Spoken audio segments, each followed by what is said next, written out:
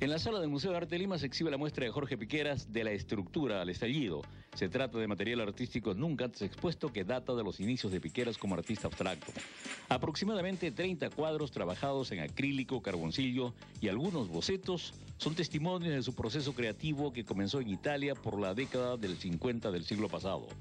Natalia Macluf, directora del museo, señala que esta exposición nos acerca a conocer un poco más la historia del arte peruano del siglo XX y de sus principales creadores, ya que es lamentable que un artista de la trayectoria de Piqueras, que hasta en la actualidad representa al Perú en la Bienal de Venecia, no sea aún suficientemente conocido en su propio país.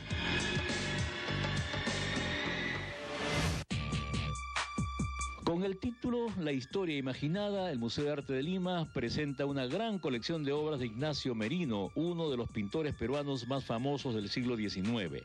Esta exposición muestra por primera vez la faceta costumbrista de Merino, compuesta por pinturas, acuarelas y litografías de tapadas hasta hoy desconocidas, realizadas durante sus años formativos entre Lima y París en el año de 1855. Y también sus obras clásicas, cuya temática corresponde a las obras literarias españolas, como es el caso de la lectura del Quijote, que llevó al llamado Salón de París en el año de 1861, con lo que se convirtió en el primer pintor peruano con reconocimiento internacional.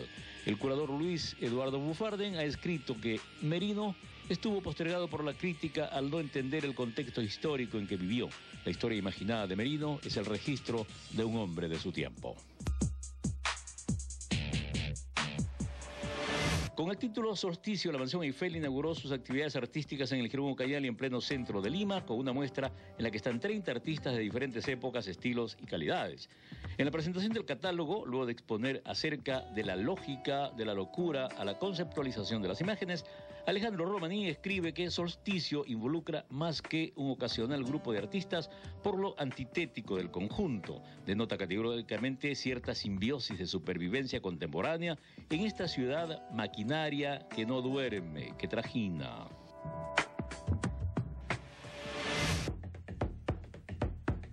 El Museo de las Artes Populares del Instituto Ribagüero de la Universidad Católica exhibe una muestra Muñecas del Perú de Maximiliana Palomino de Sierra. Esta exhibición presenta una serie de obras de esta gran maestra de la artesanía peruana, que junto a su esposo Enrique Sierra a lo largo de más de 50 años crearon una original forma de expresión con las muñecas documentadas que representan personajes de nuestra historia, así como una importante colección de muñecas etnográficas con vestimenta tradicional de diversas regiones del Perú.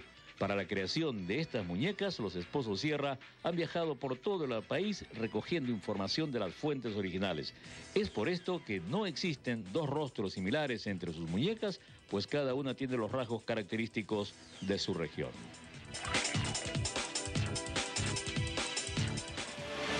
La Galería de San Isidro exhibe Caracol de la Noche del artista María Fe Flores Estrada. El crítico José Medina escrito en la presentación del catálogo que en Caracol de la Noche la dualidad es una constante y lo es también desde la misma atmósfera claroscura de estos cuadros, cuyo espacio se convierte en el escenario propicio para mostrar toda esa gama de connotaciones.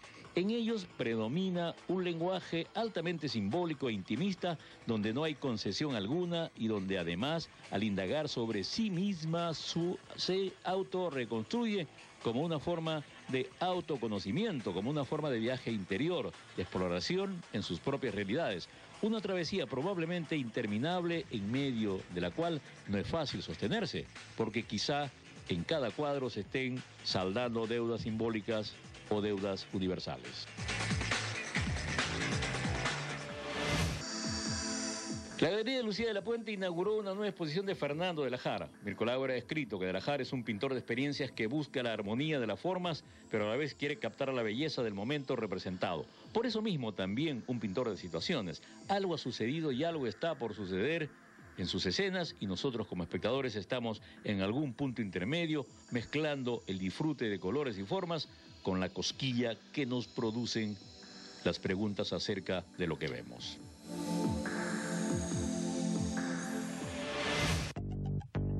En otra sala de Lucía de la Puente está Kenny Nakama y su mutación y desborde. A partir del vertiginoso desarrollo tecnológico iniciado en el siglo pasado, las sociedades han complejizado los medios por los cuales ordenan, administran y despliegan toda clase de información siendo la velocidad de flujo de esta el factor determinante para su desarrollo. El trabajo de Nakama se centra en el análisis de este nuevo paisaje creado por el más media, teniendo en cuenta que la información desplegada por los medios de comunicación es resultado de procesos de selección, ordenamiento y jerarquización en los que intervienen intereses y perspectivas de poder que muestran una realidad fragmentada, determinando la percepción del mundo. Toli Príncipe y Mónica Cuadra, otrora integrantes del dúo Guaira, vuelven a reunirse para un concierto de reencuentro que tendrá lugar en la derrama magisterial de Jesús María el próximo jueves 9 a las 8 de la noche. Cantarán, por supuesto, los temas que hicieron populares en su momento, a los que han agregado los temas que cada una por su lado ha hecho en su dedicación como solista. Tendrán como invitados a los integrantes del dúo Hermanos López. Son dos jóvenes que prometen, son nietos del legendario Luis López Arangoitia, el célebre Getón López de Coracora. Aquí Dolly y Mónica.